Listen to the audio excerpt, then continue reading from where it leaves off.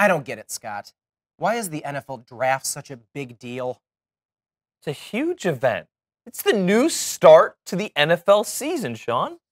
See, that's just the thing, though. It's not an event. Nobody wins, nobody loses. Not tripping up a flight of stairs is not a quote, football move. Now, see, Sean, it's a serious, serious event. There are war rooms for every team. Everyone has bathrooms, Scott. If we burn, Sean, you might want to watch your spicy food intake in the future. I stress eat, okay? It's just I can't stand it when people waste time on this. Think of it this way, all right? The decisions that are made during the draft affect the team's Super Bowl chances. Plus, you get to make fun of Mel Kiper's hair. And you know what? If it makes you feel any better, I can name a lot worse things that pass as sports on television. Like what? Well, there's this. I was right. It's a call you need a clean. Oh my god. You use it.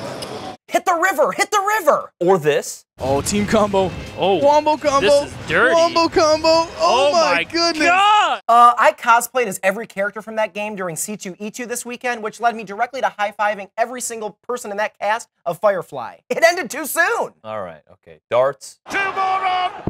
Oh, double 12 for the ninth finish. I don't believe it. Anything involving sharp projectiles is a sport in my book. Yeah. Here's a fake sport. Y'all like NASCAR? Whoa, whoa, whoa. Those guys are crazy athletes. Watch how close he comes to catching that wall right there. Oh, wow. I've been in a car accident, Scott. Does that make me an athlete? I don't think anyone could ever make you a professional athlete, Sean. Okay, fake sport. What about this?